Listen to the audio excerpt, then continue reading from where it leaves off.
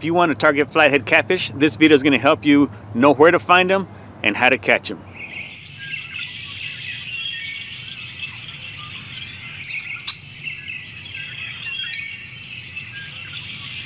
Today we're going to use this fallen tree to simulate an underwater structure where you would find flathead catfish. So I've set up a rope right here to simulate the water line, which will give us a, probably about a depth about six foot deep. Now, what I want you guys to think about is where do you think the flatheads would be inside of this root ball or fallen tree? Take a minute, think about it, and we'll see where they're at. All right, you guys ready? You think you know where the flatheads are gonna be? I've put nine green pool noodles out there to show you where these flatheads would potentially be in this fallen tree. Check it out. As you can see, the flatheads are positioned throughout the water column in this fallen tree. So how would you target these flatheads? If you want to use live bait is number one for flatheads. They will bite on cut bait, but your best chance of catching a flathead catfish is with live bait.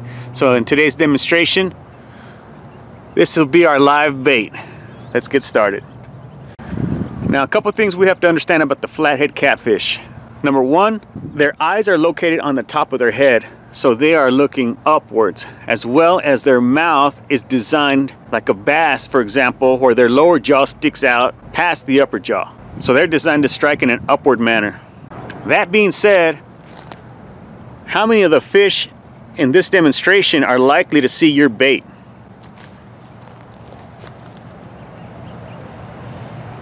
Let's talk about rigs. Rig number one, the Carolina rig. Carolina rig is a simple setup with a sliding weight, barrel swivel, and a leader line that sits mainly on the bottom. So let's simulate what would happen if you had a bait rigged with the Carolina rig. Because flathead catfish have this underbite, it does make it a little bit more difficult for them to pick up something off of the bottom. They have to turn sideways and inhale to suck that bait in to pick it up off the bottom.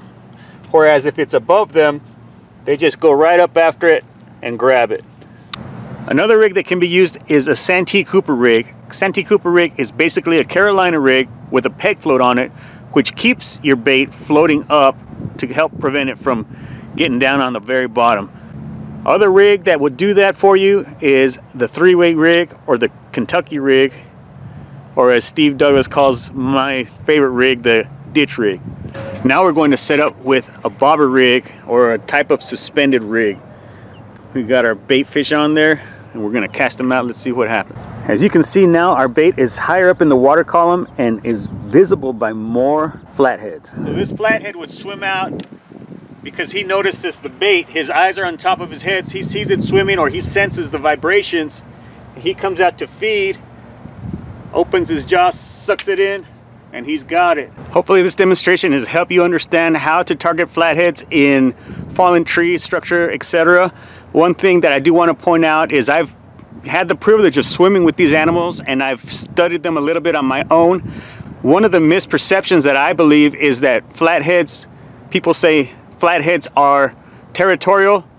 I agree, but not in the sense that most people think. I believe that flatheads are territorial on a smaller scale.